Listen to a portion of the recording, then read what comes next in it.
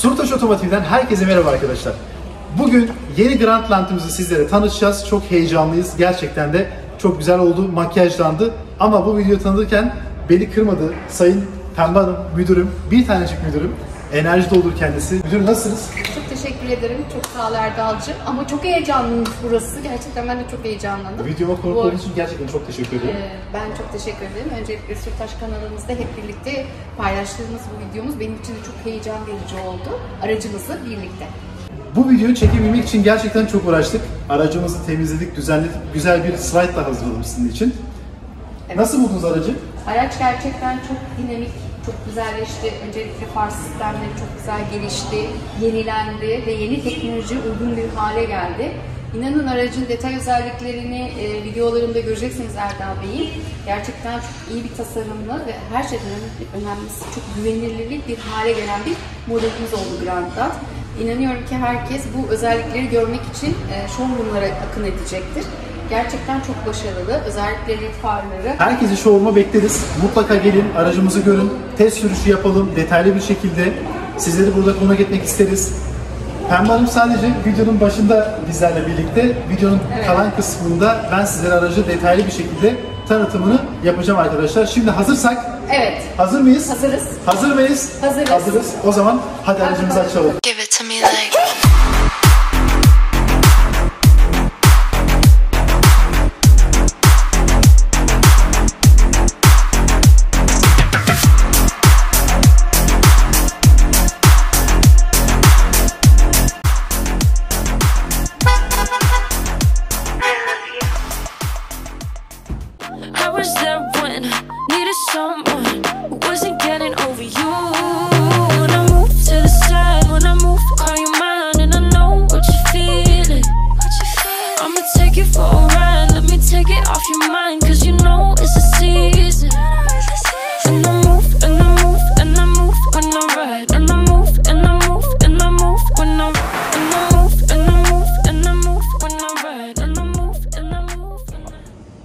Aracımızın ön vizör tasarımından başlıyoruz. Mokka ile birlikte gelen Grandland'in ön yüzü de bu şekilde değişti.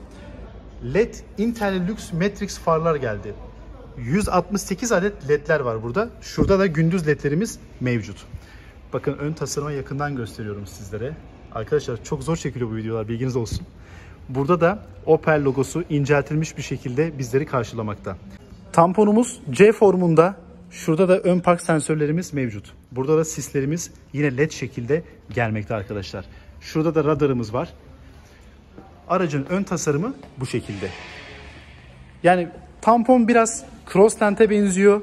Biraz da yandan baktığımızda Mokka gibi şöyle farlarımız tamamıyla Mokka ama tabii daha farklı. Tek mercek değil çift mercek var. Intellilux LED Matrix farlar. Vizör tasarımımız zaten Mokka'nın yeni yüzü. Onunla birlikte gelmekte. Bu araçta ekstra olarak bir önceki Grandland'e göre değişenler neler? Bakın şuradaki çamurlukları görüyorsunuz. Bir önceki formda bunlar plastikti. Ama şimdi gövde rengi gelmekte. Gri ise gri, mavi ise mavi. Ve bu araca daha farklı bir hacim katıyor arkadaşlar. Burada ekstra olarak yine kapılarda da şurada plastik korumalarımız vardı.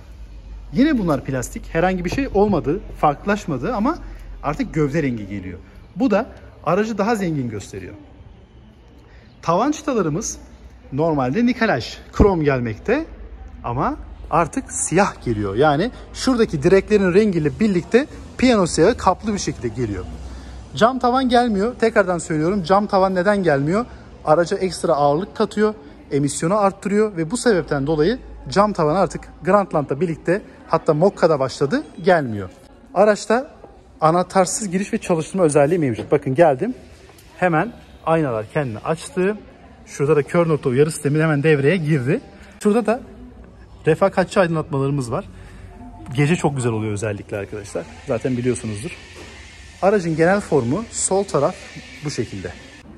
Aracın arka tarafında piyano siyah kaplı bir spoilerımız ve köpek balığı yüzgeci antenimiz de bizleri karşılıyor. Ekstra olarak farklılıklar yine arka tamponda da kendisini gösteriyor. Arka tampon yine gövde rengi gelmekte. Şurada arka park sensörleri mevcut. Şurada da alüminyum gri renginde difüzörümüz var. Gerçek bir difüzör değil. Şuralar kapalı arkadaşlar. Egzoz altta. Peki bağımsız süspansiyonumuz var mı? Bakıyoruz. Evet. Bu araçta bağımsız süspansiyonlar gelmekte. Altı bu şekilde bak. Egzoz hemen solda. Şurada geri görüş kameramız var. Ve Grandland fontlarımız şöyle Opel'in Next fontu olarak adlandırılmakta. Next font olarak geldi. Grandland'da artık X takısı kaldırıldı. Artık Grandland X değil sadece Grandland. Güzel bir makyaj oldu. Hani bir kasa değişimi gibi duruyor. Gerçekten de güzel duruyor. Şık ve hoş duruyor arkadaşlar. Fiyat olarak eğer kaç lira derseniz gerçekten de fiyat olarak sizlere bir bilgi veremiyorum şu an için. Çünkü henüz daha fiyatları belli değil. Ama muadillerine baktığımızda bir Peugeot 3008, Hyundai Tucson yani ne kadarsa zaten aracın fiyatı da aşağı yukarı o rakamlar içerisinde olacak. Yani 5-10 bin lira aşağıya, 5-10 bin lira yukarıya artık bir şey diyemiyorum onunla ilgili ama o fiyatlar baremli arasında olacağını söyleyebilirim arkadaşlar. Siz bu aracı nasıl buldunuz? Bu araçla ilgili düşünceleriniz neler? Bunları lütfen detaylı bir şekilde yorumlar bölümüne yazın arkadaşlar. Sormak istediklerinizi sorun. Bu araç ÖTV muafiyetiyle satılmıyor. Onu baştan sizlere söyleyeyim. ÖTV muaf olması için 450-1500 bandı arasında olması gerekiyor. Ama şu anda tabii ki bu bir hayal olamaz. Bilginiz olsun. Aracımızın kapılarını açalım. Kapıyı açtığımda şuralar yumuşak malzemeyle geliyor arkadaşlar. Gayet güzel, yumuşak, deri kaplı. Yani buradaki hissiyat gerçekten iyi. Dört camımız otomatik, aynalarımızı yine buradaki tuşlar vasıtasıyla konfigüre edebiliyoruz. Kapının altında da çok güzel bir eşya gözlerimiz var. Gayet derin. Şuraya bir yarım litre su. Yine buraya küçük eşyalarınızı koyabileceğiniz yerler mevcut. Burada gece aydınlatmalarımız var. Gece ledlerimiz var. Ortam ambiyans aydınlatmaları gerçekten çok şık ve güzel yanıyor. Beyaz olarak yanmakta. Bir de motorunu göstereyim sizlere. Kaputu açalım. Bakalım motor bölümüne geçtiğimizde nasıl? Şurada bakın bir el koyma yeri var. Buradan elinizi sokup şurada bir mandal var. Bastığınızda hemen motoru bu şekilde açabiliyorsunuz. Kaputu açtım. Burada bir ısı yalıtımımız var yine. Ses ve ısı yalıtımı sağlayan keçeli bir kaplamamız mevcut. Bu aracımız 1.5 dizel 130 beygir gücünde. Araç 8 ileri tork konventörlü şanzımanla geliyor. 300 Nm torka sahip. Varta akümüz yine şurada konumlandırılmış durumda. Eksik olarak burada gördüğüm herhangi bir şey yok ama keşke bu elle kaldırdığımız kol pistonlu olsaydı. Mokka'daki gibi piston koyulabilirdi. iki tane piston daha iyi olurdu diye söyleyebilirim arkadaşlar. Aracın genel formu bu şekilde. Abi şuraya bakar mısınız ya? Yeni her zaman nasıl gösteriyor kendisini değil mi? Her şeyle gıcır gıcır. Her şey yerli yerinde, temiz, düzgün, düzenli. Hiç kullanılmamış. Çok seviyorum. Burada da yine bir yalıtımımız var bakın. Şurası da boş değil. Oradan da e, şoför muayene alan sesi kesiyor ve ısı yalıtımı da sağlıyor şuradaki keçe. Gerçekten o da orada olması güzel bir detay. Bakın şurada da plastik kaplamalarımız var aslında. Farların hemen üzerine konumlandırılıyor. Hiçbir şekilde farları çizmemesini sağlıyor. Şu anda Grandland'ın içindeyiz arkadaşlar. Öncelikle aracımızı şuradaki start stop'tan çalıştıralım. Evet aracım açıldı. Bakın ekranlar kendisine geldi. Evet direksiyon yumuşadı. Şimdi şöyle biraz yakından alalım. Şimdi öncelikle şöyle ön malzemeden başlıyorum. Arkadaşlar ön malzeme tamamıyla yumuşak malzemeyle çevrili. Gerçekten de gayet güzel. Şurada bakın gri dekorlar var. Şurada da piyano siyahı dekorlar var. Ekranımız tam ortada konumlandırılmış. Mokka'nın ekranın aynısı. 12 inç. Ve ekranı da şuradaki tuş vasıtasıyla konfigüre edebiliyoruz. Misal şöyle şunu bakın ileri doğru ittim. Bakın sürüş olarak geldi. Tekrar itiyorum. Kadranlar, bilgisayar, asgari, özel. Bu kendi istediğinize göre ayarlayabiliyorsunuz. Navigasyon. Mesela navigasyon diyelim.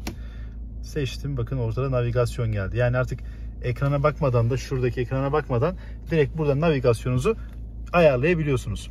Hemen sağda hararet ve yakıt göstergesi mevcut. Üste kaç kilometre hızla gittiğiniz, burada da devir saatiniz konumlanıyor. Altta da bakın şurada tam ortada şöyle göstereyim. Şurada da e, trafik levhalarını algılama var. Aracımız daha henüz 3 kilometre. Daha yeni geldi zaten. Şuradaki ekran şu konsolla birlikte bütünleşik bir şekilde geliyor. Şurada hafif bir kıvrım var. Mesela Mokka'da şu kıvrım yok. Burası biraz daha düz geliyor. Bunda hafif bir kıvrım var. Sanki şuradaki ekran biraz daha ayrıymış gibi. Ve çok da sürücüye yönelik değil. Biraz da yolcu düşünülmüş burada. Hani biraz daha yolcuya göre de ayarlanmış diyebilirim. Peki bu ekranımız bizlere neler sunuyor? Öncelikle şuradan ayarlar tuşuna basalım. Set. Bakın 1, 2, 3 nolu profil var. Ee, buradaki profilleri kendinize göre ayarlayabiliyorsunuz. Misal ben bir nolu profili kendime göre ayarladım. Ses seviyesi olsun, işte aracın özellikleri olsun. Arkadaşım geldi araca. O da iki nolu profili seçti. Kendisine göre ayarladı. O tamamıyla kişiselleştirilmiş bir profil oluyor arkadaşlar. Bilginiz olsun. Şuradaki araç tuşuna bastım. Farları seçtim. Farlarda neler var? Uyarlanır aydınlatma, hafif iç aydınlatma, karşılama aydınlatması, refakatçi aydınlatması hepsi aktif. Peki farlardan çıktık. Konfora geldim. Konforda neler var? Kilitlerin açılması, yalnızca sürücü kapısı, yalnızca bagaj kilidinin açılması. Bunlar kapalı. Yani buradan kilitleri istediğiniz gibi seçebiliyorsunuz. Yani hangi kilidin önce açılmasını istiyorsanız seçebilirsiniz. Aynaların katlanmasının engellenmesi. Mesela bu aynalar otomatik katlanır aynalar. Aynı zamanda aynalarda kör nokta uyarı sistemi de var. Bu size bağlı. Oradan kapatabiliyorsunuz. Eller serbest açılması. Yani araca yaklaştığınızda hiçbir şeye basmadan araç kendisini açıyor kapılarını. Motorlu bagaj kapısı açılabilir bölüm. Bu da aktif şu anda. Şöyle yapalım. Güvenliğe geldik. Güvenlikte aktif acil güvenlik sistemi, tavsiye edilen hız gösterimi, trafik levha tanıma sistemi, sürücü yorgunluk tespit. Geri vitese taktığımızda Grandland'da ilktir onu da söyleyeyim. Geri vitese taktığımızda bakın şöyle göstereyim. Şimdi şuradaki aynaya iyi bakın. Şu anda vitesi geriye taktım. Bakın ayna hareket etti aşağı doğru indi. Dikiz aynalar hemen aşağıya doğru kendisini konfigüre ediyor arkadaşlar. Bilginiz olsun. Geri görüş kameram ve çevresel görüş sistemimde açıldı. İsterseniz de şu da çok güzel bir özellik. Özellikle bayanlar için söylüyorum. Çünkü genelde ne kadar yaklaşın daha net görmek isterler. Şurada standart arka görüş var. Seçtim. Büyüterek görüş seçtim. Bakın ne kadar yaklaştığınızı şuradakini şurada da görebiliyorsunuz. Aynı zamanda sesli de beni uyarıyor. Zoomlu arka görüş var. 180 derece bakın. Bir de standart görüş. Neyse bu kadar ses yeter. Arkadaşlar şu alt kısma geldiğimde hava menfezimiz Mokka'da olduğu gibi sadece tek. Tek bir panelde bütünleşmiş halde. Şurada yine bir hava menfezimiz var. Sağda da yine bir hava menfezimiz var.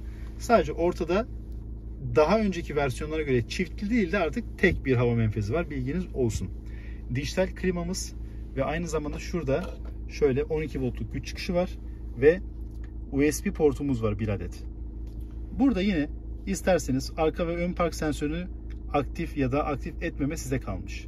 Şerit ihlali var. Kapatabilirsiniz, açabilirsiniz. Uyarım her zaman açık olsun. Start stop'u devre dışı bırakmak isterseniz şuradaki tuşa basabilirsiniz arkadaşlar. Ve Grandland'da yine bir ilk 3 ayrı sürüş modumuz geldi. Şimdi şuradaki tuşa basıyorum. Bakın ekranı gösteriyorum. Spor. Hemen bir aşağıya bastım normal. Hemen bir aşağıda ekonomi. Arkadaşlar şunu tekrardan söyleyeyim. Aracı her çalıştırdığınızda her defasında normalde başlayacaktır. Sonraki sürüş modu size kalmış. Bilginiz olsun. Ve bakın siyah piyano siyahı kaplı dashboard küçücük bir vites joystick'i. Bu Corsa'da da gelen vites joystick'in aynısı.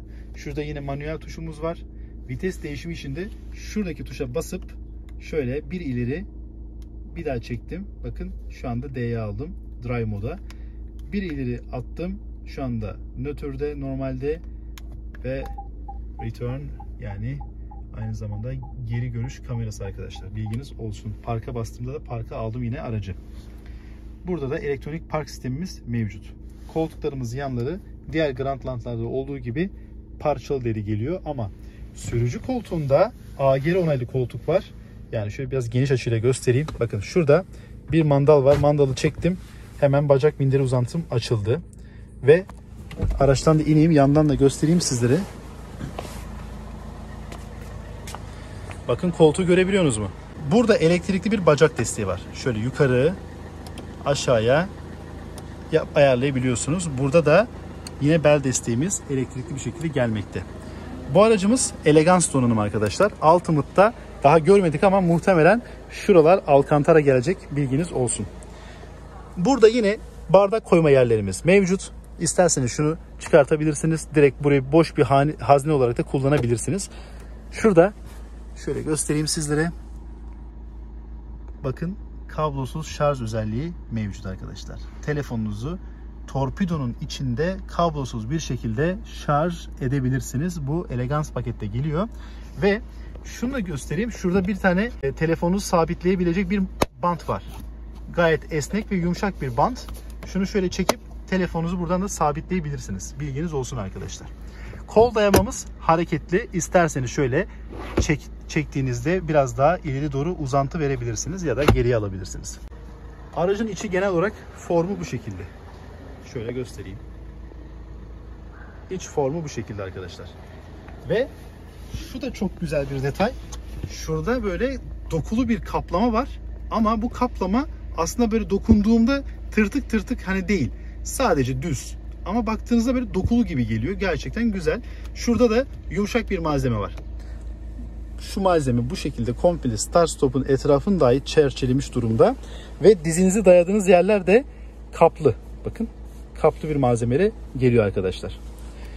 Ya en çok sevdiğim nokta şunları sökmek. Hadi sökelim beraber.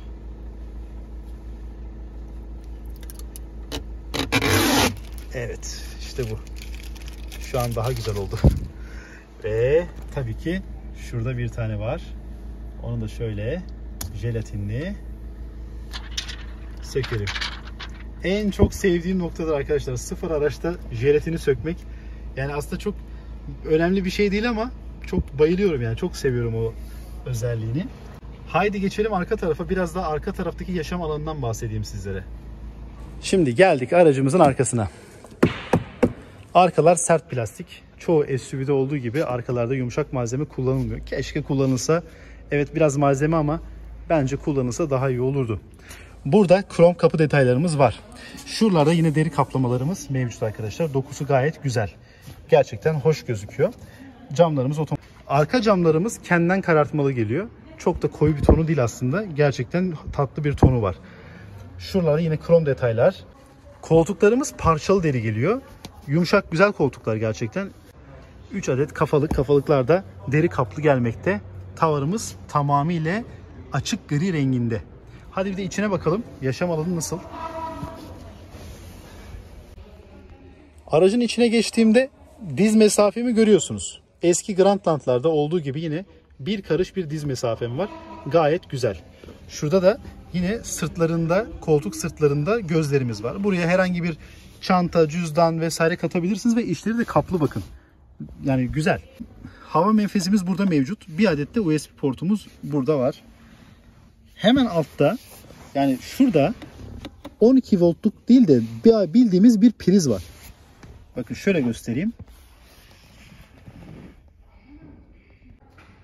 120 voltluk bir prizimiz var arkadaşlar. Bu da Grandland'da ilktir. 120 voltluk bir prizin olması gerçekten şaşırdım. Çok güzel bir özellik. Özellikle hani kamp yapanlar için gerçekten çok değerli. Yaşam alanı bu şekilde. Baş mesafemi de göstereyim sizlere. Bakalım baş mesafem nasıl? Şöyle geniş açıya alalım. Baş mesafemi görüyorsunuz. Bir karış var. Gayet uygun benim için. ideal bir baş mesafesine sahip. Boyum 1.78. Öndeki koltuk tamamıyla benim sürüş pozisyonuma göre ayarlı. Baş mesafemde bir karış. İdeal. Yani bence çok ideal. Cam taban artık Grandland'da da gelmediği için yakıt emisyonundan dolayı Avrupa bu durumda çok hassas. Cam tavan, e, sunroof gibi özellikler artık gelmiyor. Ha belki ileriki dönemlerde emisyon artık elektrikli arabalara geçtiğimizde belki koyabilirler mi bilmiyorum. Ama şu an için gelmeyecek. Bilginiz olsun. En full paketini alsanız dahi yok. Net. Grandland'in ya- arka yaşam alanı bu şekilde. Şimdi bir de bagajına bakalım arkadaşlar. Bu araçta bagaj ne kadar büyük? Yine şurada otomatik bir bagajımız var. Tuşa bastım. Bagajımız açıldı. 520 litrelik bir bagaj bizleri burada karşılıyor. İlk yardım çantası, tüpü hepsi içinde arkadaşlar. Bakın bagaj tamamıyla bu şekilde. Peki bagajda ekstra neler var? Şurada sabitleme kancalarımız mevcut. Burada da yine 12 voltluk bir güç çıkışımız var. Bakın. Sağda da yine sabitleme kancalarımız. Böyle tutanaklarımız. Şurada da küçük küçük cepler var. Step ne var mı? Bakalım.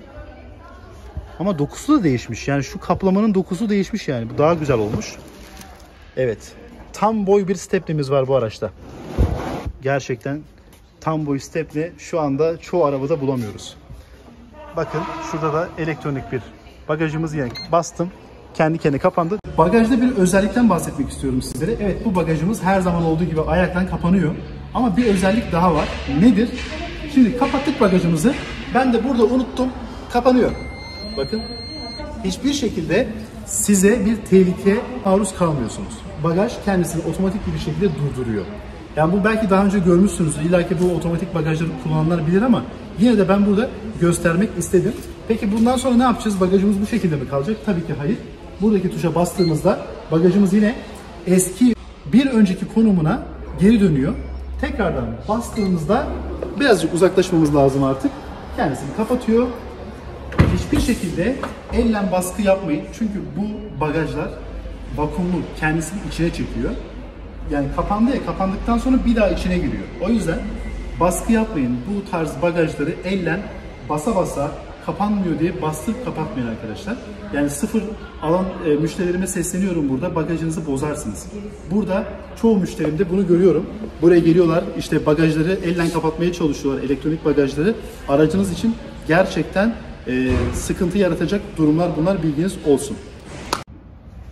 Arkadaşlar sizlere Grandland'ı detaylı bir şekilde tanıttım. Gerçekten video esnasında çok kolay olmadı. Çünkü bir yandan gelen sesler, inşaat aşamasındayız daha tam bitmedi, perdelerimiz takılıyor vesaire.